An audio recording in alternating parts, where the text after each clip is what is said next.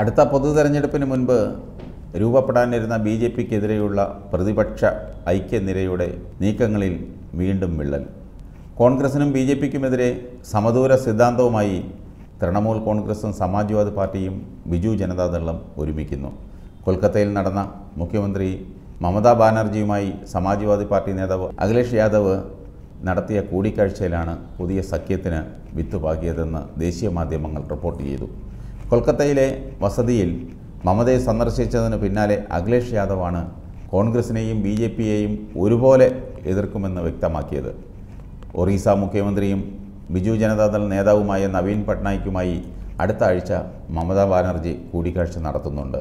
ഇരുപത്തിമൂന്നാം തീയതി നടക്കുന്ന കൂടിക്കാഴ്ചയ്ക്ക് ശേഷം പ്രതിപക്ഷ ഐക്യം സംബന്ധിച്ച വിഷയത്തിൽ കൂടുതൽ വ്യക്തത കൈവരുമെന്നും അഖിലേഷ് ചൂണ്ടിക്കാട്ടി.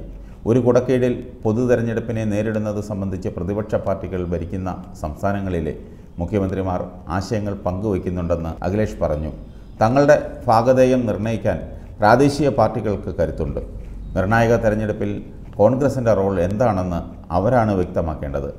ബി ജെ പിക്കെതിരായ പോരാട്ടം ദുർബലമാകുന്ന തരത്തിലുള്ള ഒരു നീക്കവും ആരുടെ ഭാഗത്തു നിന്നും ഉണ്ടാകില്ലെന്നാണ് കരുതുന്നത്. രണ്ടായിരത്തി ഇരുപത്തിനാലിലെ പൊതു തെരഞ്ഞെടുപ്പിന് മുൻപ് ഏതെങ്കിലും തരത്തിലുള്ള പ്രതിപക്ഷ സഖ്യം രൂപപ്പെടുമെന്നാണ് അഖിലേഷ് യാദവിന്റെ പ്രതീക്ഷ. മുന്നണി സഖ്യം ഇങ്ങനെ എന്ത് പേരിലും അതിനെ വിശേഷിപ്പിക്കാം. ബംഗാളിൽ എസ് പി മമതയ്ക്കൊപ്പമാണ്. നിലവിൽ ബി ജെ പിയും കോൺഗ്രസുമായും സമദൂരം പാലിക്കാനാണ് അവരുടെ തീരുമാനം.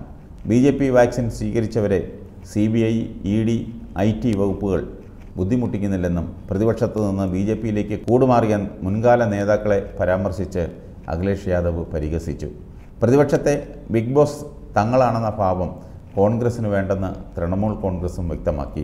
കോൺഗ്രസിൽ നിന്നും ബി ജെ പിയിൽ നിന്നും തുല്യ അകലം പാലിക്കാനാണ് തൃണമൂലിന്റെയും തീരുമാനം. നിലവിലെ സാഹചര്യത്തിൽ മൂന്നാം മുന്നണിയെക്കുറിച്ച് ആലോചിക്കേണ്ട സമയം കഴിഞ്ഞു. കോൺഗ്രസിനെ ഒഴിവാക്കി ഇതര പ്രതിപക്ഷ പാർട്ടികളുടെ ഐക്യമാണ് മമതയും അഖിലേഷും ഉൾപ്പെടെയുള്ളവർ ലക്ഷ്യമിടുന്നതെങ്കിലും കോൺഗ്രസ് ഇല്ലാത്ത പ്രതിപക്ഷ ഐക്യം സാധ്യമാകുമോ? അതാണ് ഉയർന്നു വരുന്ന ചോദ്യം.